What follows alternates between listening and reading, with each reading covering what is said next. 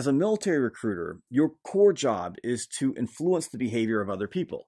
In other words, you're trying to influence your applicants and their parents to choose your branch of the service.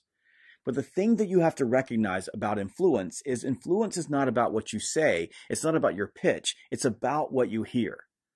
Think about it like this when you start talking, your ears turn off, and so does your applicant. So this week, when you're having your meetings and you're having your interviews, practice keeping your mouth shut and your ears open.